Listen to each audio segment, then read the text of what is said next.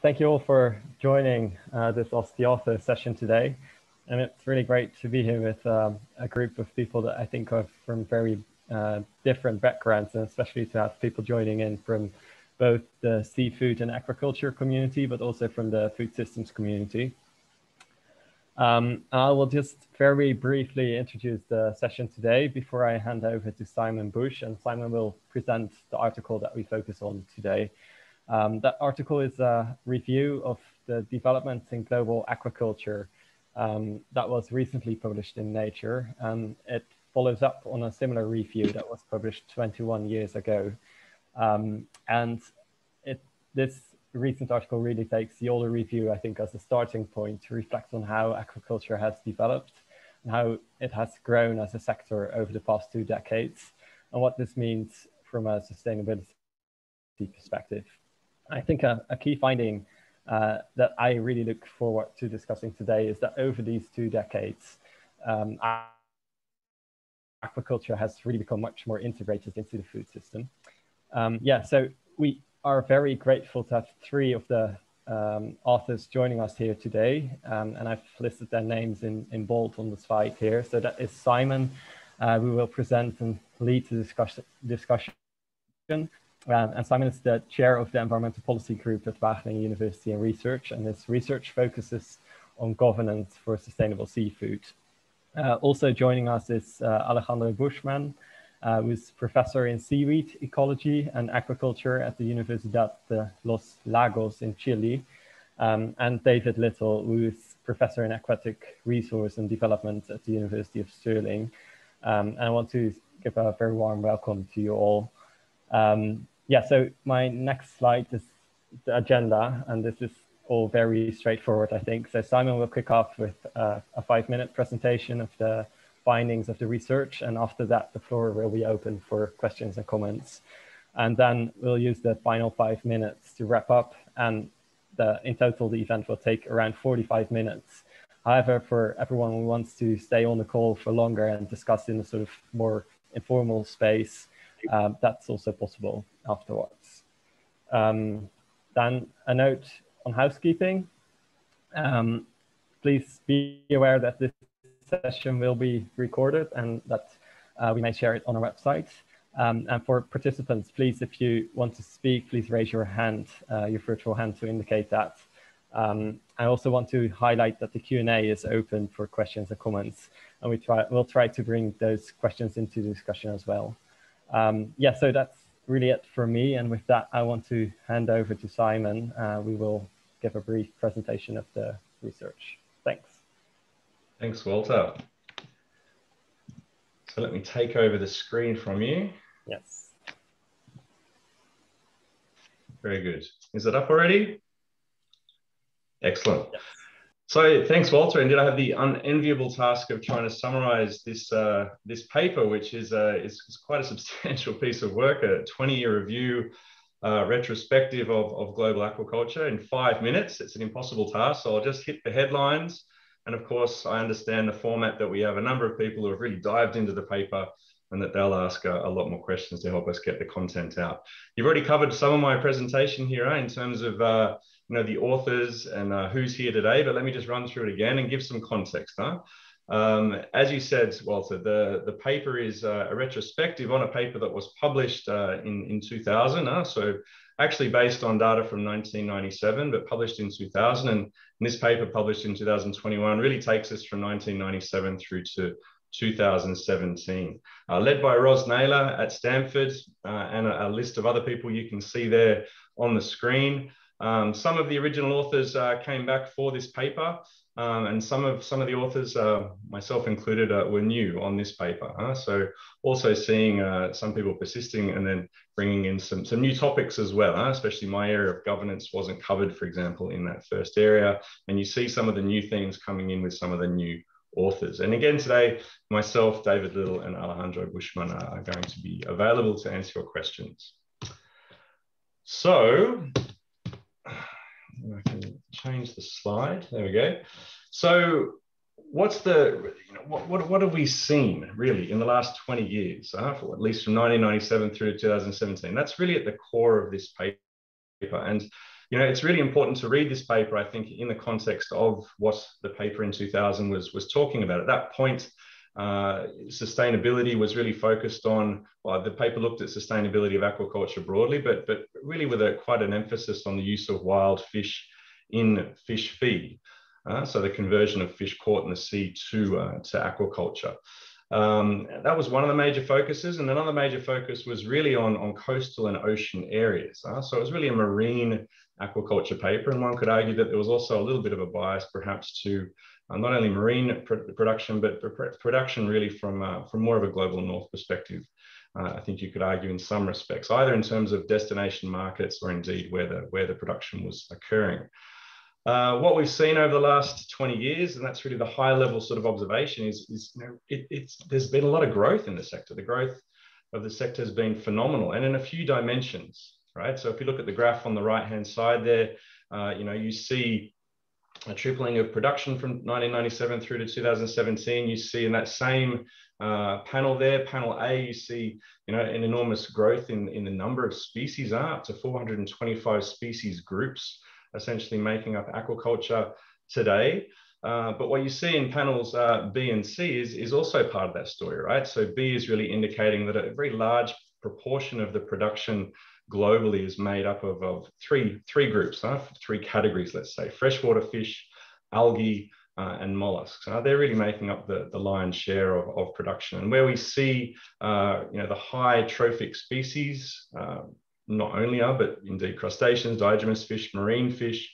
Uh, we see growth, we see a high rate of growth, but overall, these aren't the species which are, which are dominating uh, the production of aquaculture. We see a huge variation beyond those species and species groups.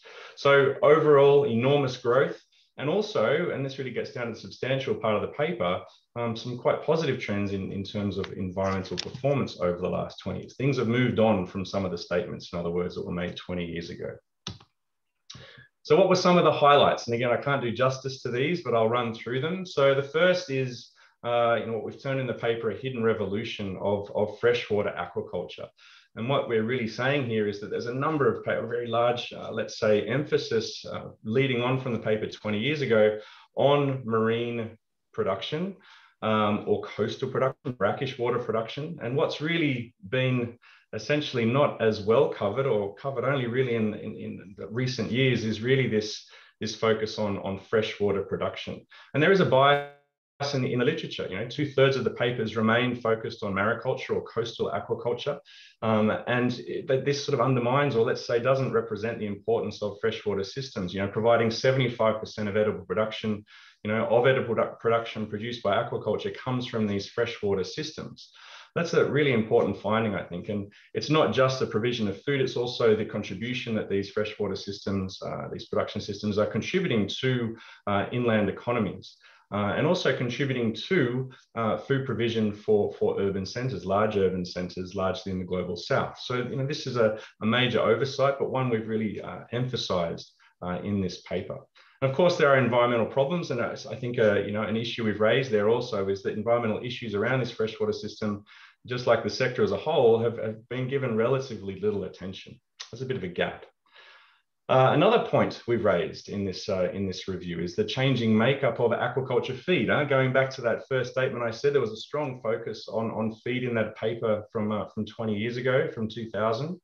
Um, we revisited that uh, in this paper. And so the major sort of headlines there that we came with was was really challenging. I think uh, this sort of idea that's uh, that we have a you know a large a large proportion, let's say a very dominant uh, notion that's uh, that that fish are being pulled out of the sea and put into aquaculture. We've we've nuanced that I think to a substantial extent.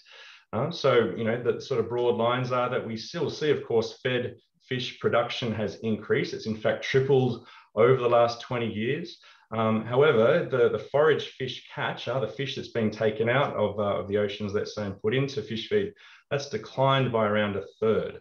Uh, and what we also see is the share of fish meal and fish oil used in aquaculture. That's that's indeed grown by a third. Uh, the, the, contribution to aquaculture that's grown by a third. So aquaculture has actually taken a larger proportion of fish meal and fish oil overall.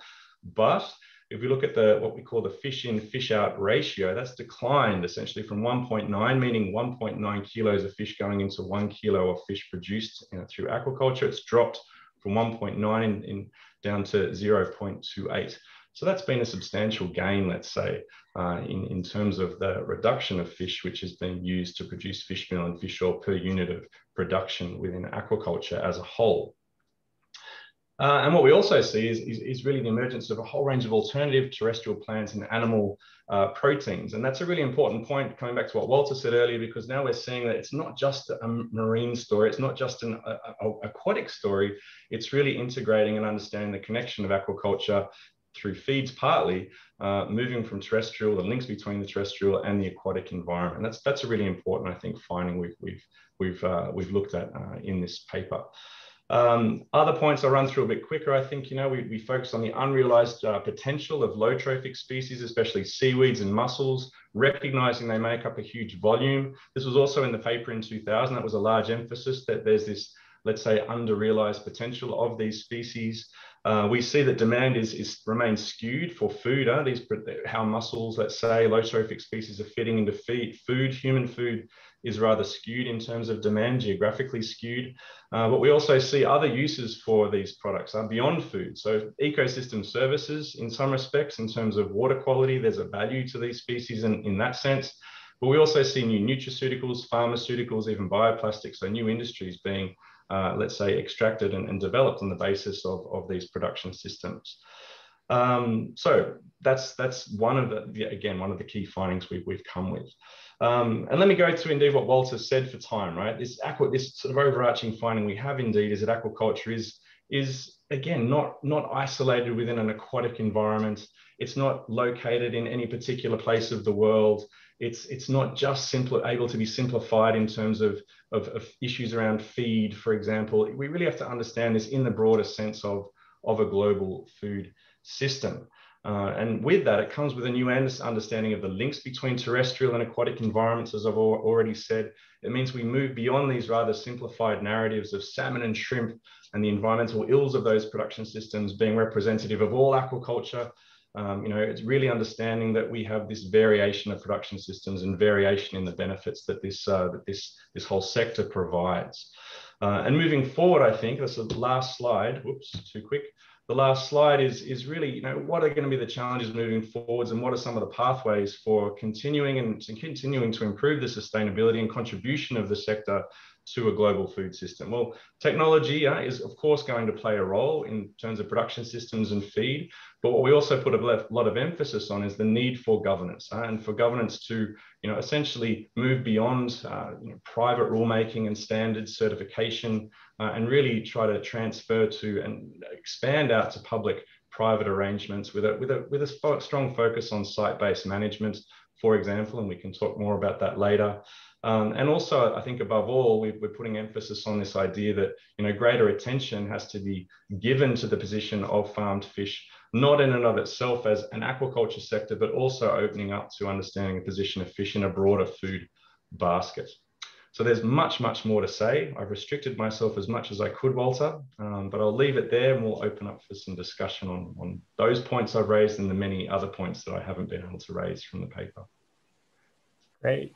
Thank you very much, Yes, and I uh, appreciate that. It's a hard task to summarize this in, in just a couple of minutes, but um, yeah, I think, um, yeah, the floor is now really open to questions from everyone, but um, I just, I may just uh, start with a question I had, um, uh, which is basically about sort of the scope of the research and why you chose to specifically focus on, on aquaculture. So I wonder, um, I guess you I haven't looked into the FAO statistics, but I guess you would also see an increase in fishery, uh, like sea fishery production. Uh, so why did you choose to focus on aquaculture and its linkages to, to food systems specifically? Um, and also just a, a note, uh, Simon, can you maybe stop sharing your screen so that yes. we can have a gallery view? Yes, of course. Sorry. Yeah, and I can see my co-authors there. So the question was, if I, if I understood correctly, was why did we focus on on aquaculture and in general terms, but then also in relation to or uh, to capture fisheries. I mean, I think put simply, I think the, the, the focus of this review was in that retrospective sense, trying to revisit um, some of the, the statements and, and findings of that, uh, of that paper that came out in Nature 20 years ago, right? And I think the, the, panel or the authors are, the, the, the, author list, the number of people working on it, and the scope of issues that they've covered, uh, you know, we, we realized that the debates had moved on dramatically since that paper was published in 2000. And I think it's also fair to say that that was uh, probably still remains a, a, very highly cited paper um, on aquaculture. It's really used as a reference point for the state of aquaculture and was, was that for many years. People went to the, you know, the Naylor et al. 2000 paper um, and, and, and look at the issues, looked at the issues around that paper. I'm not saying that was the only source, but it really set, I think, a discourse and it set uh, a series of questions uh, for, for subsequent research. And again, uh, looking at the looked even my two authors on the screen, uh, I think collect the three of us have have, uh, have, have done research over the you know over that 20 years in uh, to very extent to, to and really saw that these issues weren't uh, weren't had moved on substantially. So this was really the goal of the paper. In terms of putting it in the context of fisheries, um, yeah, there, I don't think there was any there was there was no real ambition to to make a comparison with fisheries. I think the, the link there really is uh, going back to the Naylor paper from 2000 was, was really this link to, uh, to the use of marine uh, feed resources, let's say marine fish in, in aquaculture feed and to revisit and to see where uh, what progress had been made and, and then you start then you can see the results that, that I presented and that I published in the paper. So I hope that gives a bit of a, a bit of a response. And of course, Dave and Alejandro, if you want to jump in, then um, by all means do. Um, George. Um, hi, Simon. Thanks very much for describing the paper. I very much enjoyed reading it.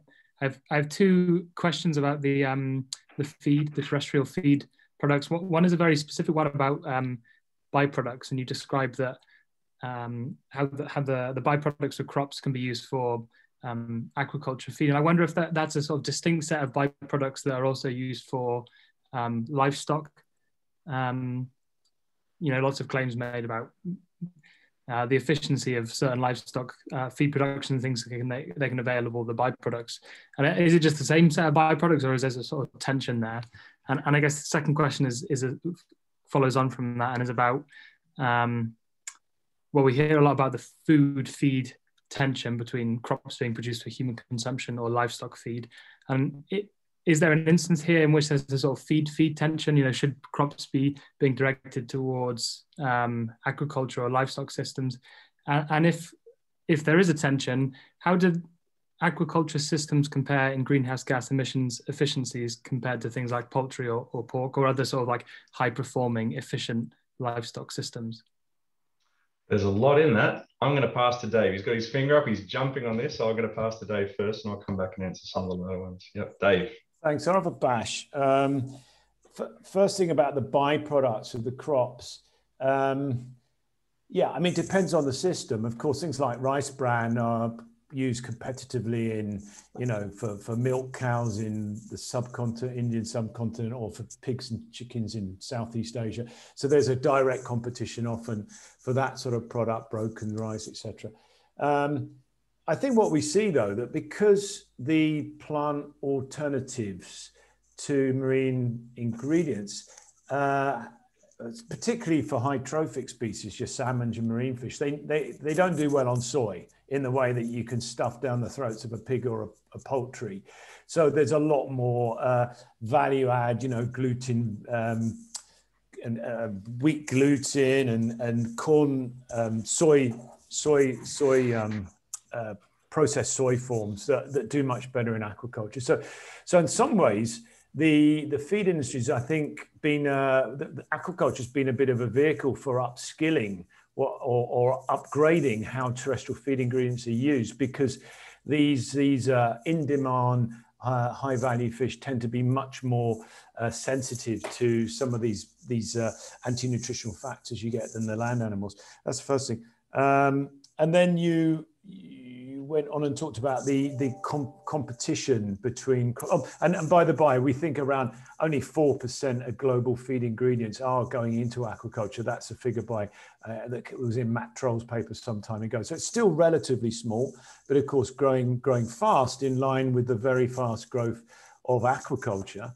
Um, this competition, yes, should we be eating soy ourselves or feeding fish? Well, that's it's the same argument.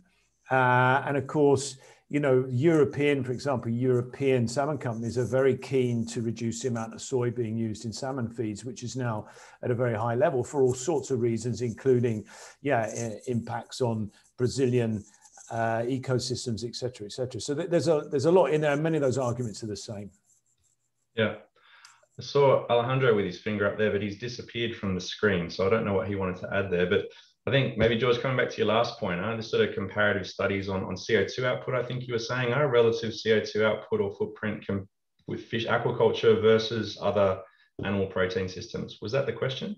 Hmm. Yeah, that's right. Yeah. So it's not really just is it better to eat for us to eat soy or to eat fish? Is more is it better for us to eat fish or for us to eat, you know, chicken? Just by way of example. Oh, I forgot that. Yeah. Yeah. yeah.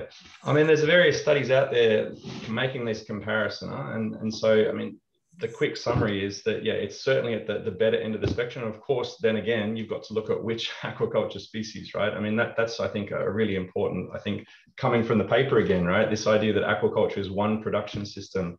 Um, we're illustrating that it's a broad range, right? So if, you, if you're taking um, you know, seaweed production that has, of course, an extremely different, or even uh, or mussel production. I mean, there's even they've even uh, even been uh, movements to create um, carbon markets, right? So climate emission markets essentially around uh, around these species, right? So that's a very different picture um, to to some of the other aquaculture systems. But the general picture, if you're making the comparison in general terms, then aquaculture falls out on the the better end. Uh, somewhere, if I'm not wrong, Dave, right? The, the figures come out somewhere near chicken, uh, and then pork, and then beef uh, being being at the, yeah. the other end. I was just looking at some of the figures this morning because one of my students was talking about. There's there's a there's some reassessments coming out because the the whole way life cycle assessments assessments mm. is done is actually very different. But you know how you allocate boundaries, all that type of thing, and it's even massively different between fisheries and aquaculture very often.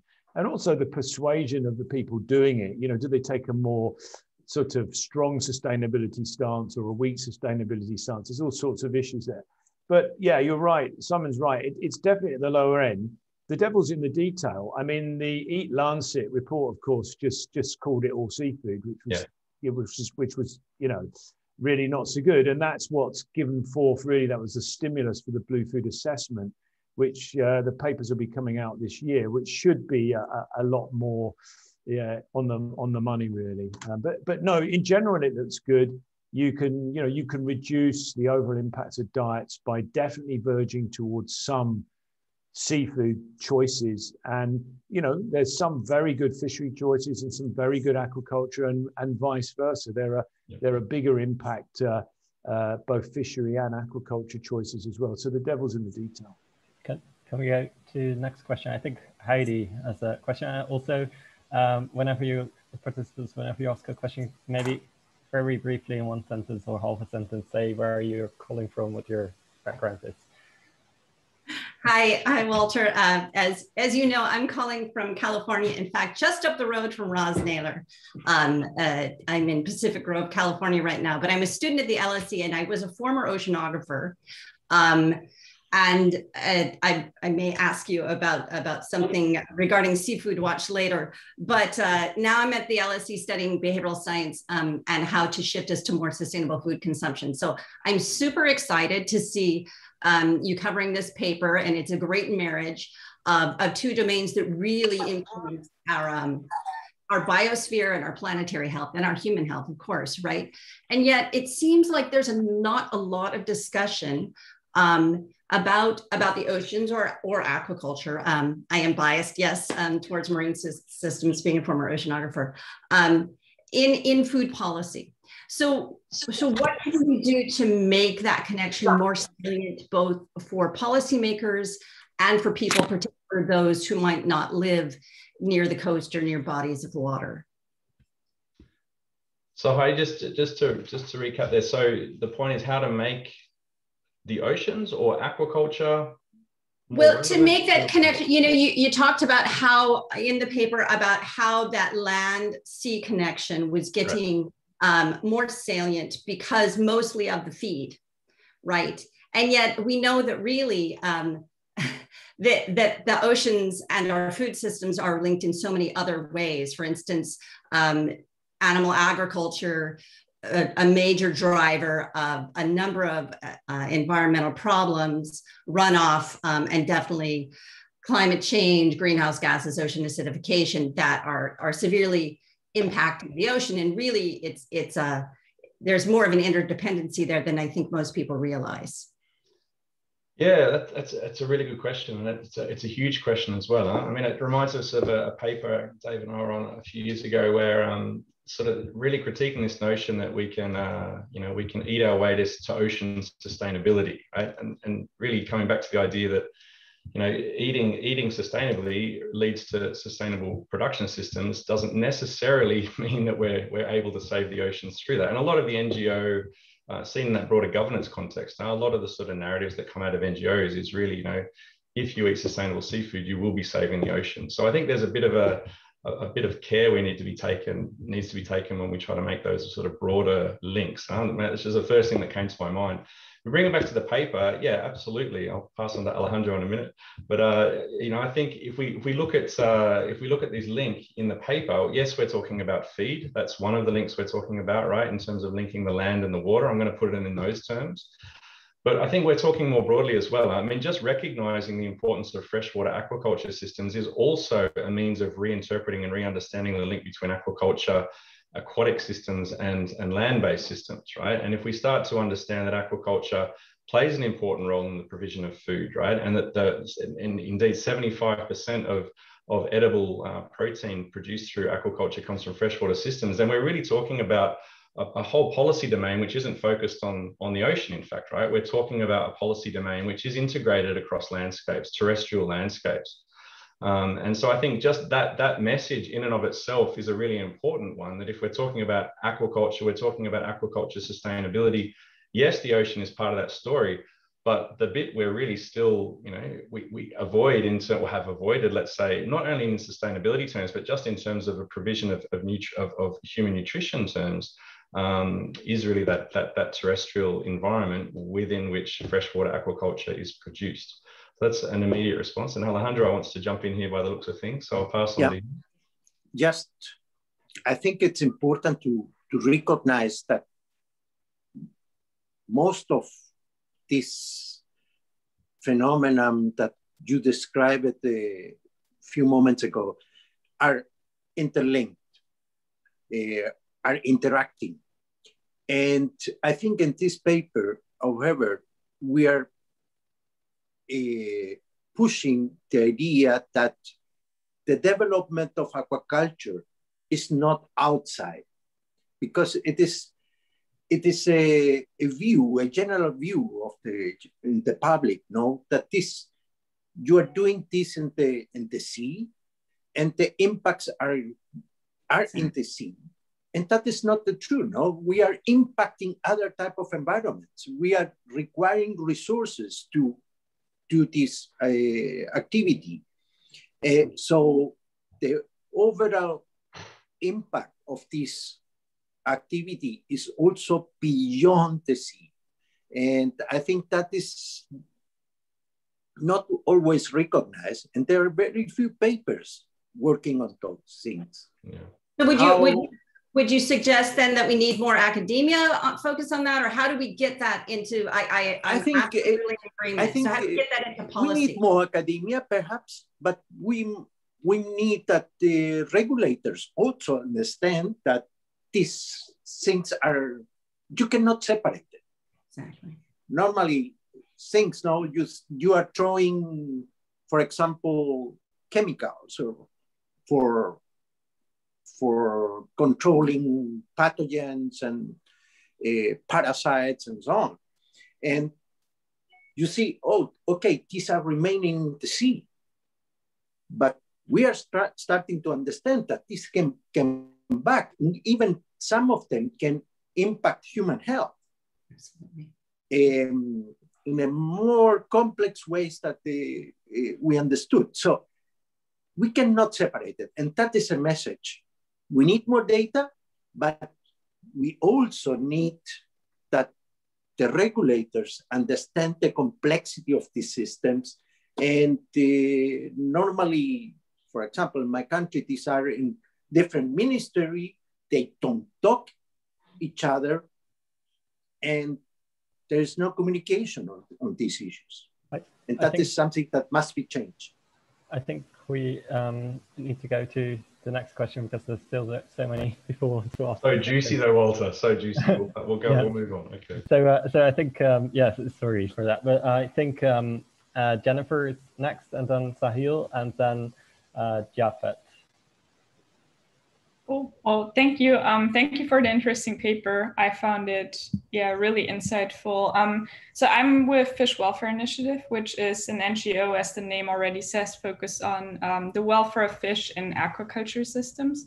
Uh, so working with several stakeholders across the UK, India, and the Philippines to um, kind of move aquaculture systems towards higher welfare production, to just unlock like the mutual benefits both for the fish but also for the farmers with diseases as you also mentioned in the paper being a really big issue.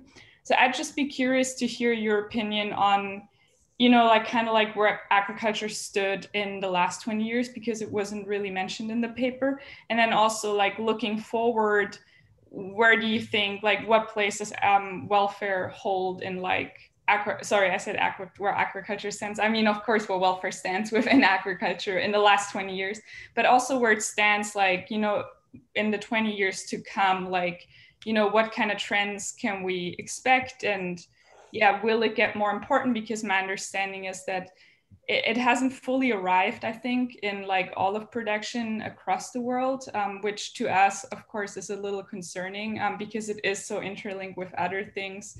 Um, that's one question. The other question I'd be really curious to hear your opinion on is with RAS systems specifically, whether you have any opinion about welfare in those systems, because I kind of see it go both ways. Like you can provide really good welfare, but they're so technologically advanced that they're really prone to massive failure, right? Where you have like really mass die offs too. So I'm like having a hard time telling, you know, it could RAS provide really good welfare or is it really risky at the same time. You know like your thoughts on that too. Yeah. Dave alejandro you want to take the the RAS system question? Dave? Yeah uh, well uh, you go ahead alejandro. Yeah this is very personal because we still do not have enough data. Even i started with uh, land-based systems and with circulation systems using filter feeders and mollusks to clean up the water. And so you can think many, in many areas, you can have a better performance. But if you, eh, you might, if you go to RAS, you need to intensify your production. You need to have higher densities of animals. And so not all things goes in the same direction. And uh, you may claim that uh, fish will be in a too high density and that is not going well to, it's not the animal welfare, good for animal welfare. They will be stressed. Uh, and you depend on technology as you said, and technologies can also have failures.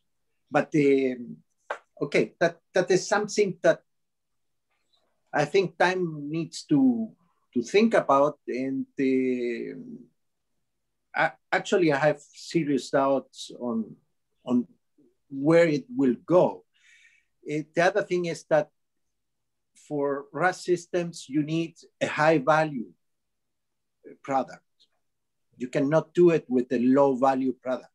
So if that starts to increase and that is the, the, the value of those products will go down, you will have a greater uh, uh, offer for the market.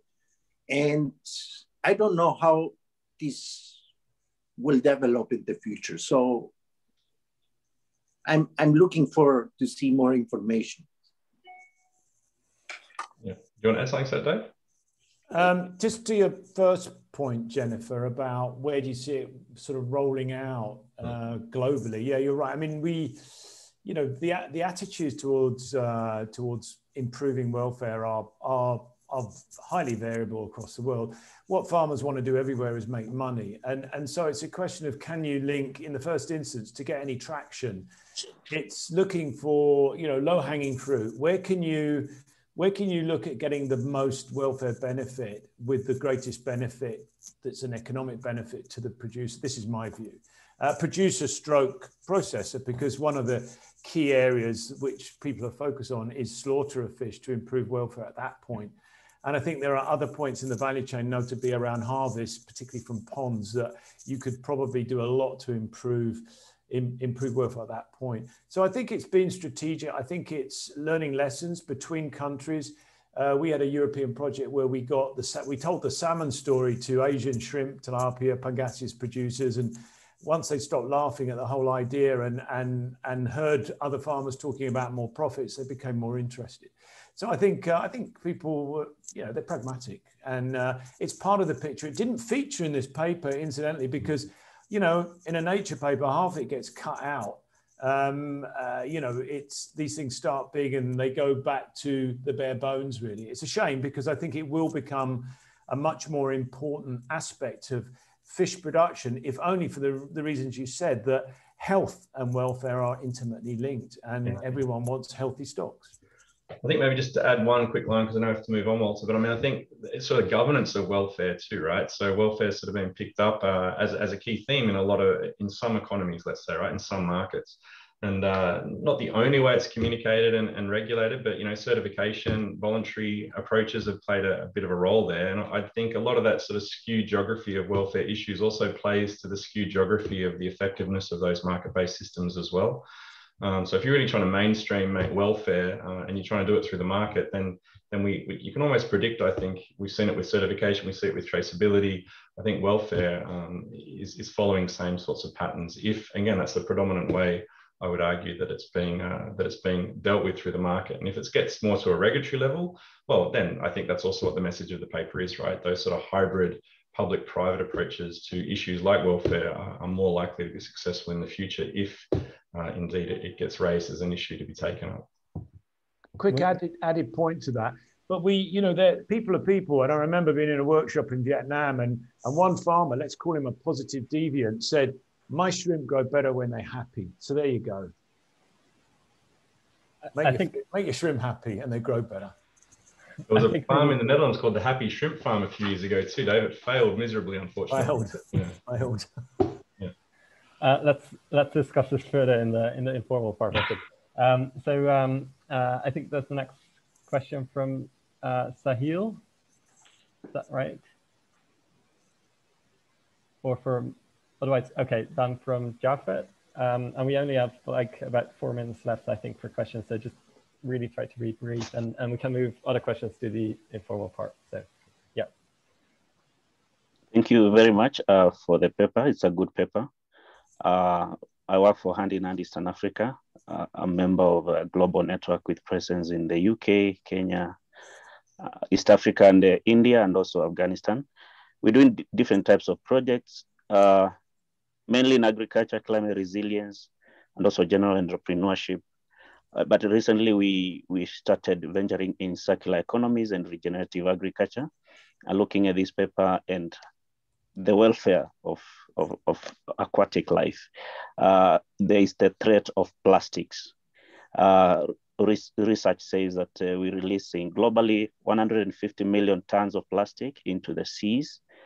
And therefore, I don't know whether this is something that uh, uh, subsequent reviews of this paper could address because it's a, a lot affecting the, the quality and even the life of aquatic animals. Uh, and uh, uh, I, I, know this is kind of affecting uh, food safety and also the quantity of food that, that is, is going to be available from, uh, from the seas in the future. So that's something that uh, needs to be looked at. And I, uh, uh, also what somebody said about uh, what we are doing on land, the types of farming, we do a lot on crops and livestock. But again, the way we are doing it is also affecting aquatic life, especially on the chemicals and the other substances that we are releasing into water.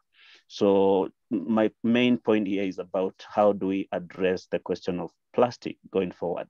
uh, and if this can be addressed in the subsequent reviews of this paper. Thank you. Nice, uh, nice question, Japhet. Can Alejandro or Dave, have you got anything to add here on the point of plastics? I think there's a few points you raised oh, there, Japhet. Yeah, yeah, it's a.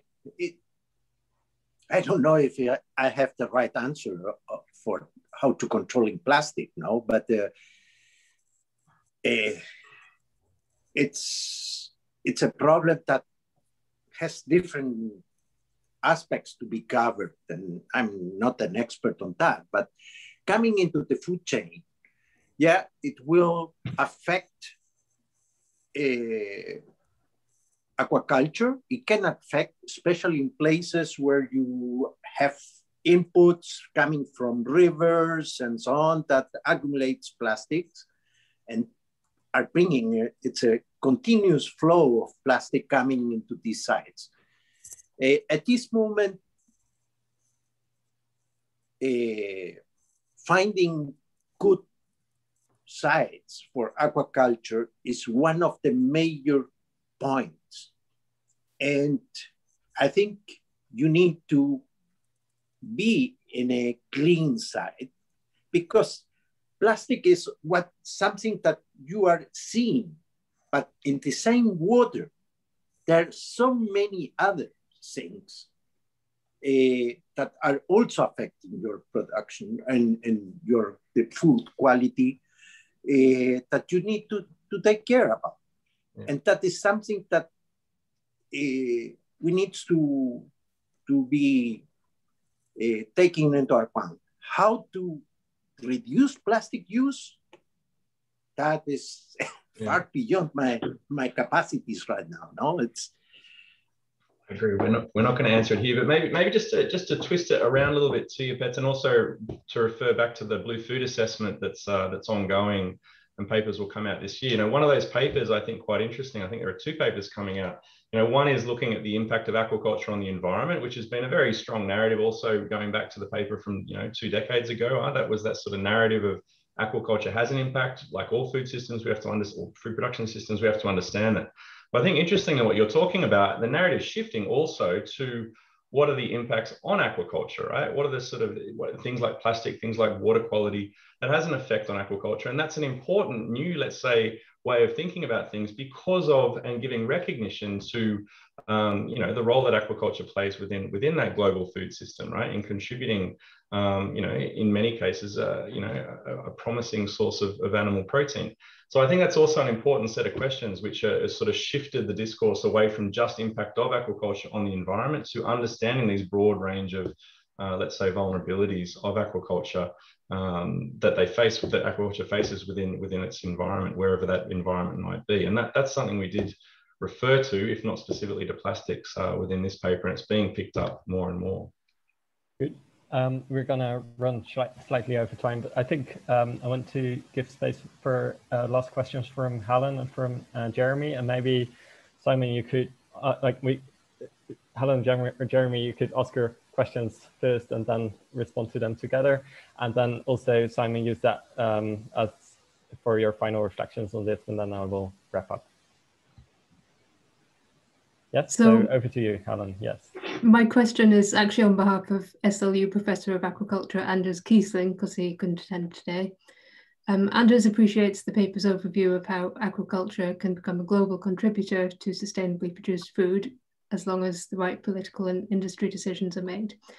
And he asks whether you can reflect on how these necessary changes at the global level can be adapted for decision makers in varying local contexts. Uh, for example, if different places have different ecosystems or different levels of access to relevant resources. And Jeremy? Thanks. So um, my question is about governance gaps, I guess, because um, we talked. You talked a little bit earlier about, I guess, how certifications for issues and regulation for issues like animal welfare is quite uneven globally. I was really interested to see in the paper there was a little section discussing um, consumer guides and ratings for seafood. So my question was kind of, does that I guess, cover some of the gaps and enable kind of a more global view, or does it just replicate the gaps and the unevenness in certification and regulation, basically? Good questions. Yeah, how long have we got for this, Walter? um, yeah, let me let me try have a, go uh, quickly. I mean, I think uh, the first one in terms of you know global messaging and, and issues that say how can that be translated into uh, to local action. And I think that goes actually, it's probably related quite nicely to Jeremy's as well, in a way, right? I mean, we're, we're talking about global issues, but what we're saying in the paper, I think, interestingly, is that I'm making it very general here, but the sort of very generalized uh, understandings of aquaculture don't hold everywhere, right? And again, sort of what we're highlighting going back to the paper is that there has been, I think, what we're trying to do in the paper also is, is really much illustrate that, that we can't make certain global assumptions around aquaculture having these impacts, right? That we have to understand and putting it in your terms, Helen, or the person you're asking the question for's terms, um, that requires seeing the variation, right, of the different species, where those species are grown, in which sites I mentioned this in the presentation as well, moving much more to a site-based, or there's various terms for it, area-based, bay management, all these sorts of approaches, which really give it, which give a lot more attention to the position of aquaculture within its environment what I think is, is, is probably less, uh, less clear at this point is really understanding that, that, let's say, the social context within which aquaculture is produced. There's more and more work on that, don't get me wrong. Um, but when we're talking about really area-based, you know, it is important, I think, in the future that we really see this as a socio-ecological uh, understanding of how aquaculture is, is positioned in a particular place. But the macro sort of understanding of everything should be extrapolated from shrimp and salmon, which I'm making a bit of a generalization, but, but that happens a lot in certain films that have just been released recently as well, um, then you know we need to move beyond those, right? So that's my quick response there. Um, and Jeremy, I would say, yeah, that's an interesting question. And there was a short area focus on consumer guides and certification and, and governance in general. That was also cut by half, I think, in the last day of the of our writing process. Um, but really, that the message there is what you point out in the second hand, I think, right? That um, if I understood the question correctly, you know, that is this a, is are these are these guides, consumer guides and certification systems a approach or perhaps the approach to address sort of global sustainability in, in, aquaculture? Is it replicating, let's say, you know, certain patterns of understanding how aquaculture is, has developed and where the sustainability issues are? I think in, in many ways the second, right? I mean, if we look at freshwater systems, um, you know, you can look at tilapia, you can look at pangasius, but you know the vast majority of, of, of these freshwater systems aren't really covered in these uh, in these in these guides and certification systems because a lot of them aren't extending beyond national borders. I mean, you know, again, something that Dave and I did recently with a colleague, Ben Belton, you know, if we look at the top 10 aquaculture producers around the world, um, you know, 90% of the production that they that coming out of their, their, their aquaculture systems doesn't cross an international border, right? So 90% of aquaculture in those countries is for domestic markets where there isn't at this stage, you know, a large demand for um, for certified product. And that's a, that's a finding of the paper as well, huh? to be a little bit careful around, you know, what sort of mechanisms in terms of governance are working for which markets. Um, and again, that there's no global solution to, to global aquaculture problems. We have to look at mechanisms in governance terms um, in the context of, bring it back to Helen's question, in the context of, of markets. If we're talking about welfare, if we're talking about sustainability, if we're talking about nutritional needs, the same thing holds. We need to understand, you know, what are the triggers, what are the mechanisms that are going to be effective in driving a system or a, a sector to sustainability in that context. So that's my very quick answer because I'm scared of time. Dave and Alejandro, do you want to add anything to that? I think you say it perfectly. Dave won't think I said it perfectly. that, that's fine. I think that's a good answer.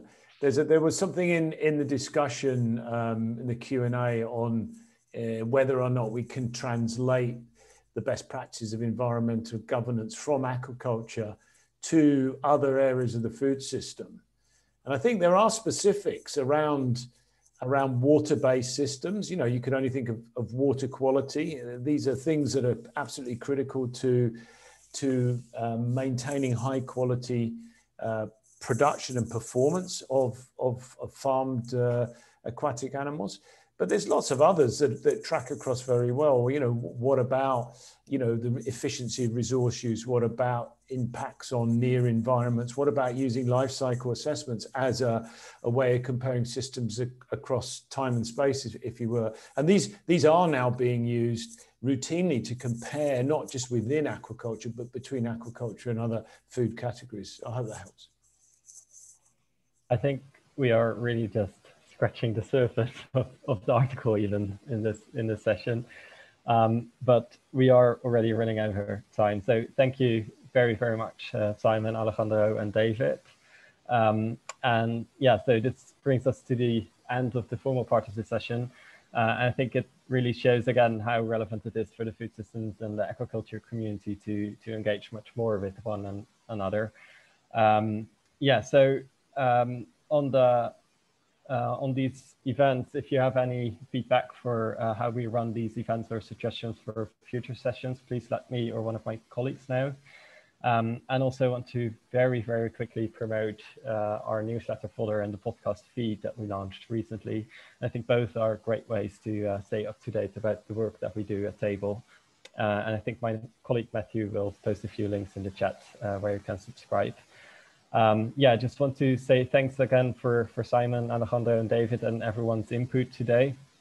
Um, and we'll now have a very short one minute break to give people who want to leave the chance to do that.